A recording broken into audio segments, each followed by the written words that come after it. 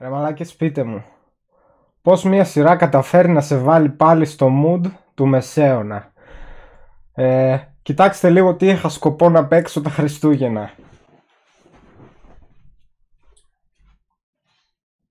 Είχα να παίξω χαλαρά πράγματα Life is Strange Whoop.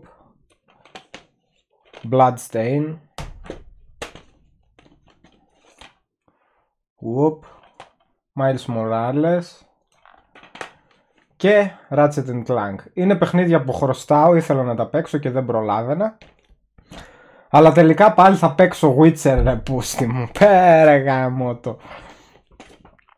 Όχι πέρα από την πλάκα θα προσπαθήσω να μην παίξω. Για να το ευχαριστηθώ όταν πάρουμε με το καλό το Next Gen Update.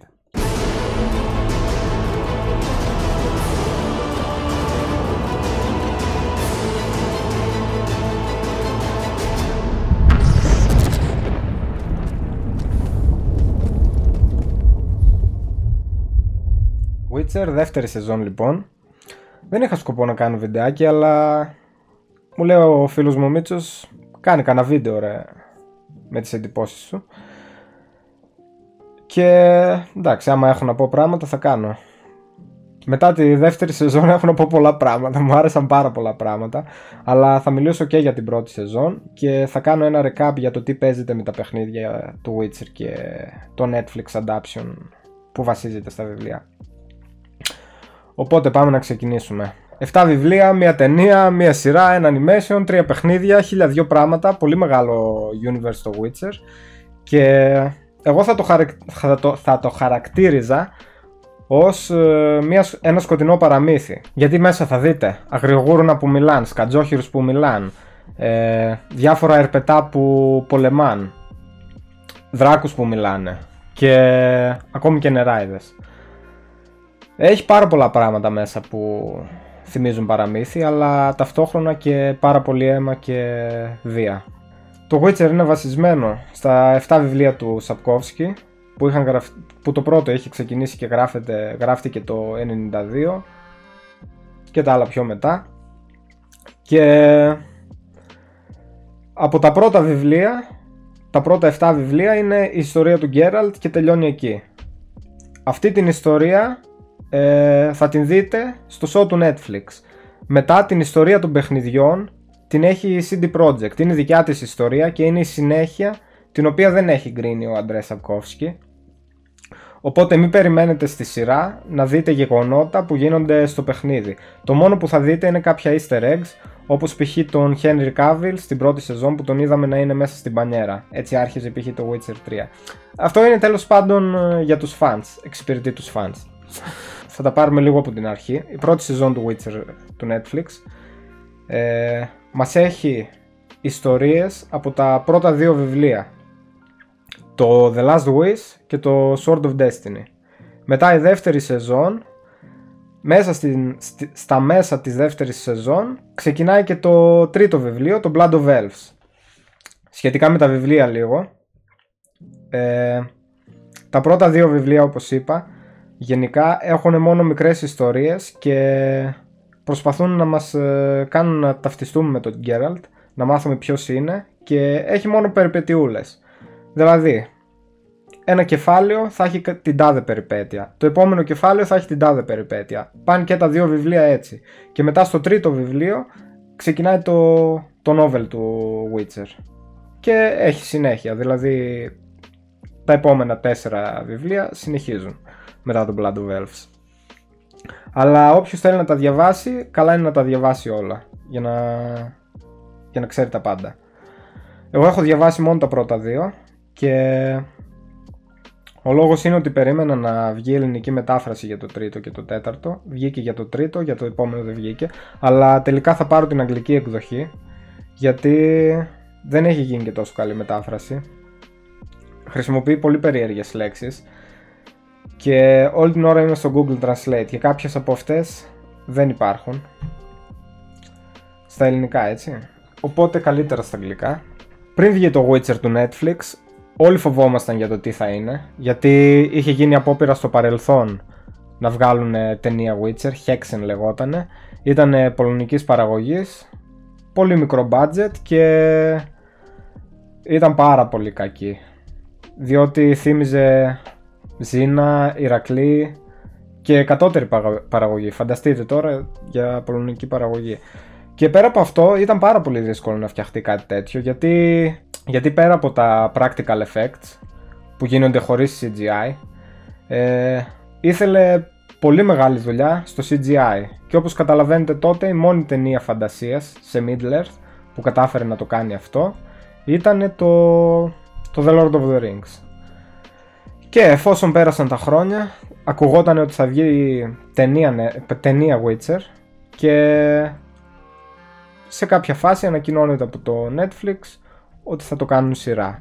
Και πολύ καλύτερα να σας πω την αλήθεια γιατί σε ταινία δεν χωράει όλο αυτό το πράγμα. Ε, θέλει αρκετές σεζόν και όπως ε, είδαμε στο, σε μία δήλωση, βασικά όχι δήλωση, έχουν βγει κάποια leaks ότι ο Henry Cavill έχει κάνει συμβόλαιο για 5 σεζόν του Witcher. Οπότε φανταστείτε για το τι πράγμα μιλάμε. Αυτά τώρα. Πάμε να πάρουμε τώρα τη, σειρά από την αρχή για το τι μου άρεσε και το, το, το τι δεν μου άρεσε.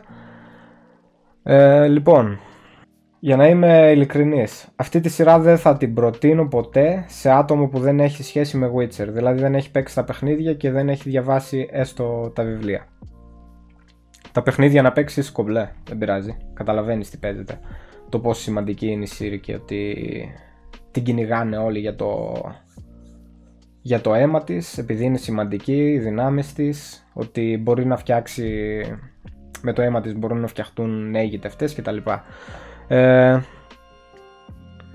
ναι, δεν δε θα, το, δε θα το συνιστούσα ποτέ σε νέο άτομο, γιατί ο νέος θεατής που δεν έχει καμία σχέση με το Witcher θα περιμένει κάποια παραγωγή wow, τύπου Game of Thrones και τέτοια, ενώ δεν θα δει αυτό. Στην πρώτη σεζόν ε, είναι σαν να βλέπεις Power Rangers, είναι πολύ μικρό το budget που, που έχουν δώσει.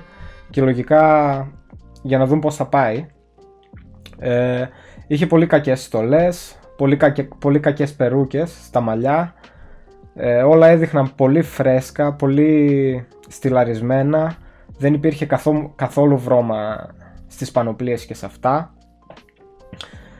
ε, μέχρι και η περούκα του Γκέραλντ φαινόταν πλαστική ε, και σε λίγες σκηνές θύμιζε B-movie. Εντάξει δεν λέω, το cringe είναι αναπόφευκτο όταν, ε, όταν παίρνεις ένα παιχνίδι και την κάνεις ταινία ή σειρά. Ή και το αντίθετο, υπάρχει cringe. Αλλά ναι, ήταν αυτό, ότι ήταν χαμηλή παραγωγή στην πρώτη σεζόν. Δεν λέω, μου άρεσε, ξετρελάθηκα εννοείται. Ε, πήραμε τον καλύτερο Γκέραλτ, ο Henry Cavill είναι τρομερός γουστάρει τα παιχνίδια και όλα, τα έχει παίξει και έναν τέτοιο χρειαζόμασταν. Τώρα για τους άλλους τους ηθοποιούς, ο Dandelion επίσης είναι τρομερός, πολύ καλός. Τα τραγούδια του είναι mainstream, το κάνει η φωνή του έτσι, αλλά γενικά η μουσική του show είναι πάρα πολύ καλή. Δεν είναι... Εγώ περίμενα να δω τους Percival που είχαν κάνει τη μουσική του Witcher 3, αλλά εντάξει αφού πήραν μουσικούς και έκαναν τραγούδια με folk μουσική, ε, αυτές τις παλιές τις κιθάρες, βιολιά και τα λοιπά, είμαι απόλυτα ευχαριστημένος. Και πέρα από αυτό, το, το show έχει ένα main theme που χρειάζεται σε κάθε show αυτό. Του δίνει ταυτότητα. Ε, ναι, ο, όπως γυρνάμε τώρα στον Dandelion ή Yasker, για όσους μπερδεύονται, Dandelion είναι η αγγλική εκδοχή, Yasker είναι η πολωνική εκδοχή, η αρχική. Δεν το χρησιμοποιούν σαν ε, Dandelion, χρησιμοποιούν το όνομα Yasker. Ε, ο λόγος που έγινε αυτό είναι ότι στην αγγλική εκδοχή των βιβλίων τον ονόμασαν Dandelion γιατί το Yasker μεταφραζόταν κάπως υβριστικά και χιουμοριστικά γι' αυτό. Και το Rhodes π.χ. τον λένε Πότκα. Ε, γίνονται κάποια μπερδέματα με τις μεταφράσεις, εντάξει θα το καταλάβετε κι εσείς. Αλλά πολύ καλός ηθοποιός ο... αυτός που κάνει τον Dandelion. Δεν τον έχω δει κάπου αλλού. Καλό αυτό. Και η φωνή του είναι έτσι κάτσι. Μπορεί να κάνει mainstream τραγούδια. Αυτό χρειαζόταν και όλα στη σειρά. Όχι κάτι αδιάφορο. Όπως ήταν το Tosa Coin του Your Witcher και στη δεύτερη σεζόν ακόμη ένα τραγουδάκι που έχει. Ε, υπόλοιποι χαρακτήρες. Θα σας πω τώρα ποιοι μου αρέσανε. Ε, οι τρεις στην πρώτη σεζόν δεν είχε δείξει κάτι. Δεν τις δώσανε κιόλας το, το ok να, να παίξει πολύ στην πρώτη σεζόν. Στη δεύτερη αρχίζει και είναι ικανοποιητική. Και κοκκινομάλα, εντάξει, πολύ καλή είναι. Οι υπόλοιποι ηθοποιοί μου άρεσαν. Τώρα λέμε τα, τους βασικούς έτσι. Η Φρέγια Άλαν που υποδίεται την Siri τρομερή. Είναι ό,τι καλύτερο έχουμε δει για Siri. Πραγματικά η, η κοπελιά πατάει γάντι. Και στις επόμενες σεζόν αν μάθει λίγο πολεμικές τέχνες γιατί είναι ακόμα πιτσιρίκα και βάλει και λίγα κιλά θα γίνει τρομερή. Ο ηθοποιός που υποδίεται τον ε, Καχύρ πολύ πιστικός, σε κάνει να τον μισήσεις αλλά σε κάποιες φάσεις αναρωτιέσαι αν όντως θες να τον μισήσεις. Μπράβο σε αυτόν, καλό casting αυτός. Και ο Βέσεμιρ ρε μαλάκες. Ποιος ηθοποιός είναι αυτός και πόσο copy-paste από το παιχνίδι τον έχουν κάνει. Με το που τον είδα εκεί σε κάποια φάση στα χιόνια γυρισμένο με την πλάτη, λέω αυτός είναι ο Βέσεμιρ του παιχνιδιού ρε. Μπράβο τα λάνια, τρομερό casting στο Βέσεμιρ. Ε, η Γένεφερ δεν μ' άρεσε καθόλου και δεν μου κάθεται καθόλου καλά. Δεν έπρεπε να επιλέξουν ε, Gypsy κοπέλα τέλος πάντων. Ρε. Δεν βγάζει καθόλου τη Γένεφερ που ξέρουμε στα βιβλία και, στις, και στα games. Η Γένεφερ μας έχει κάτσει έτσι στο κεφάλι σαν μια ψηλή γυναίκα ε, πανέμορφη, με λευκό χρώμα και όχι σαν κάτι που μοιάζει με την Alicia Vikander του Tom Raider. Τουλάχιστον για τη Γένεφερ έχω να, να πω το ένα καλό ότι η κοπέλα προσπαθεί και εντάξει είναι αντάξια του ρόλου. Δεν μας έχει δώσει κάτι κακό στο, στο acting. Μόνο εμφανισιακά, αυτό, αυτό είναι το παράπονο μου. Και ένα άλλο θετικό για τη Γένεφερ είναι ότι και αυτήν δεν την έχουμε δει σαν, σαν άλλη ηθοποιό σε κάποια άλλη ταινία. Νομίζω είναι από τις πρώτες της ταινίες το, το Witcher και τέτοιους ηθοποιούς χρειαζόμαστε σε τέτοιες σειρές να μην έχουν παίξει σε, σε άλλες ταινίες. Αυτό που με ξενέρωσε είναι ότι χρησιμοποιούν πολλούς μαύρους ηθοποιούς ε, το οποίο δεν είναι αντιπροσωπευτικό για τη σειρά. Ούτε τα παιχνίδια είχαν μαύρους ε, χαρακτήρες, αλλά ούτε και στα βιβλία κάτι χαρακτηριζόταν ως μαύρο. Μπορεί να μην τα διάβασα όλα τα βιβλία, αλλά το έχω ψάξει στο, σε διάφορα forums γι' αυτό. Και χρησιμοποίησαν μαύρους ηθοποιούς για να μην ε, για να εξυπηρετήσουν άλλους σκοπούς. Καταλαβαίνετε τώρα τι τέλος πάντων. Ευτυχώς δεν έχουμε δει και λεσβίες μέχρι τώρα. Όπως κάνει η κάθε σειρά του Netflix. Εντάξει μπορεί να ακούγομαι ρατσιστής αλλά τι να κάνουμε. Έτσι λειτουργεί το, το σινεμά τα τελευταία χρόνια και είναι πολύ μεγάλη μαλακία Επίσης ωραία δουλειά κάνανε και στο Κάιρ Μόρεν, στο κάστρο που κάθεται ο Βέσεμιρ και οι υπόλοιποι Witchers. Και συγκεκριμένα το σκηνικό είναι ολόιδιο όταν ε, προπονείται η Σύρη γιατί έχει και ένα τέτοιο σκηνικό. Δείχνει ένα flashback και στο παιχνίδι, στο Witcher 3 όταν αρχίσει. Και κάνει μπάμ ότι εμπνεύστηκαν και από εκεί. Ένα άλλο πράγμα που με ξετρέλανε στην δεύτερη σεζόν είναι τα special effects ε, καταλαβαίνω ότι έχουν προσλάβει πάρα πολλές ομάδες να τα κάνουν αυτά τα εφέ. Ε, έχει γίνει τρομερή δουλειά. Θα σας πω τώρα μερικά από τα ονόματα των special effects. Λοιπόν, ένα από τα στούντιο είναι το ILM, έχει δουλέψει στο Mandalorian. Ένα άλλο στούντιο είναι το Rodeo FX, έχει δουλέψει σε Game of Thrones, Stranger Things, Fantastic Beasts και Deadpool. Και το τρίτο στούντιο είναι το Mr. X, που έχει δουλέψει στους, στα, στους Vikings, το Carnival Row και το Kerst. Ε, τα special effects σε σκηνές ξεπερνάνε κατά πολύ τα αντίστοιχα που είχε το Game of Thrones. Οπότε καταλαβαίνετε για το τι μιλάμε. Εντάξει δεν λέω, υπάρχουν και κάποιες σκηνές που είναι υπερβολικά και κάνουν μπάμ ότι είναι ψεύτικα. Αλλά ναι, σε, σε συνδυασμό με, με τη μάχη η οποία είναι φοβερή. Έχει γίνει τρομερή δουλειά. Θα υπάρξουν στιγμές που θα λέτε what the fuck να πούμε. θα σας σηκώνει τη τρίχα. Και Σε αυτό βοηθάει πολύ και ο Henry Cavill γιατί όταν ε, παίζεται μία μάχη ε, είναι πολύ καλό στη χορογραφία και δεν χρειάζεται να υπάρχουν ε, πολλά cuts για να διορθώνονται λάθη όπως ε, ήταν στο Game of Thrones π.χ. που ο κάθε άσχετος πήγαινε και πάλευε και υπήρχαν συνέχεια cuts πήγαινε από εδώ η κάμερα, έκανε μία κίνηση παπ μαλακία πήγαινε από την άλλη κάμερα Νομίζω καταλαβαίνετε τι σας λέω. Δεν ήταν μονόπλανη η σκηνή που πάλευε κάποιος. Επίσης μου άρεσε ότι η Hisrich σέβεται τα βιβλία και τις ιστορίες που είχαν τα πρώτα δύο βιβλία και αντιπροσωπεύονται πολύ καλά στα... στο show. Π.χ. θα σας πω, αν θέλετε να το ψάξετε ή να το διαβάσετε, στην πρώτη σεζόν, στο επεισόδιο 6, το quest λέγεται The Bounce of Reason και είναι στο δεύτερο βιβλίο αυτό. Και π.χ. στη σεζόν 2 μας ξεκινάει με το quest A Grain of Truth. Έτσι λέγεται και το επεισόδιο. Αυτό είναι ένα quest του πρώτου βιβλίου. Είδατε, γίνονται μπερδέματα με το timeline όπως και στην πρώτη σεζόν. Υπήρχαν διάφορα, διάφορα πράγματα που μπέρδευαν. Γιατί μας ξεκινούσε από εδώ, μετά μας γυρνούσε, sequel, prequel, later, after εντάξει, άμα την, άμα την δείτε και δεύτερη σειρά ή το γκουγκλάρετε για την πρώτη σεζόν τώρα, θα καταλάβετε.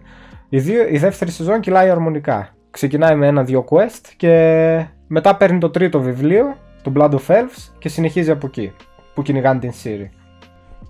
Ε, αυτό το έκανε η Hisrich, αυτή την μπερδεψιά τέλος πάντων. Ε, την έκανε γιατί είπε πως είναι δύσκολο να γραφτεί το universe του Witcher και να σε κάνει να ταυτιστείς με τον Γκέραλτ και τις ιστορίες του. Και ήθελε οπωσδήποτε να υπάρξουν τα πρώτα δύο βιβλία. Πιο σημαντικές ιστορίες δηλαδή γιατί υπάρχει πετσόκομα.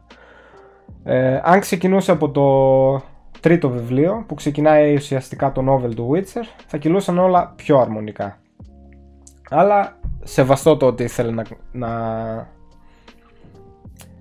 να συμπεριλάβει και τις πρώτες ιστορίες του Witcher και ευτυχώς τις συμπεριέλαβε. Είναι πολύ σημαντικές. Ε, μεγάλη αλλαγή έχει γίνει και στα μαλλιά του Geralt και των υπόλοιπων χαρακτήρων. Ε, θα σας βάλω τώρα σε εικόνα να δείτε πώς ήταν ε, ο Cavill στην πρώτη version του Geralt και πώς είναι τώρα. Τώρα το μαλλί του δείχνει πιο φυσικό, πιο, πιο ταλαιπωρημένο. Η πρώτη σεζόν έκανε μπαμ ότι ήταν ε, περούκα και ευτυχώς το άλλαξαν αυτό. γιατί ήταν απέσια.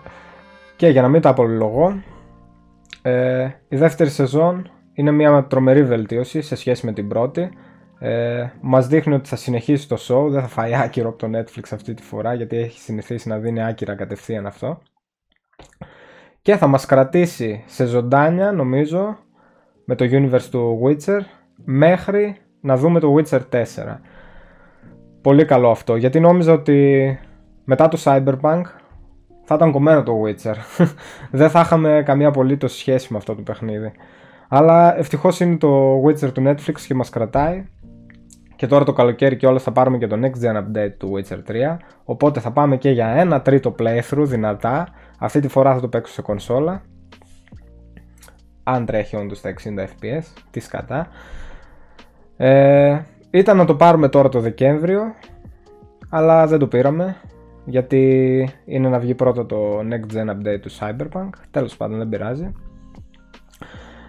Αυτά λοιπόν με το Witcher του Netflix. Πιο πολύ θέλω να πω τις εντυπώσεις μου γενικά για τη σειρά, όχι μόνο για τη δεύτερη σεζόν. Σίγουρα όταν κλείσω το βίντεο θα μου έρθουν και άλλα πράγματα, και άλλα αρνητικά, αλλά δεν γαμιέται. Ε, κάντε ένα like και share άμα θέλετε. Γιατί μου βγήκε ο κόλος να το κάνω edit αυτό το πράγμα. Θα μου βγει βασικά. Γράφω εδώ και μία ώρα. Μιλάω, λέω μαλακίες, δεν ξέρω τι σκατά λέω. Κόψε ράψε θα είμαι. Δεν πειράζει. Και μόλις βγει το Witcher 4 θα βάψω τα μαλλιά μου άσπρα. Άντε γεια.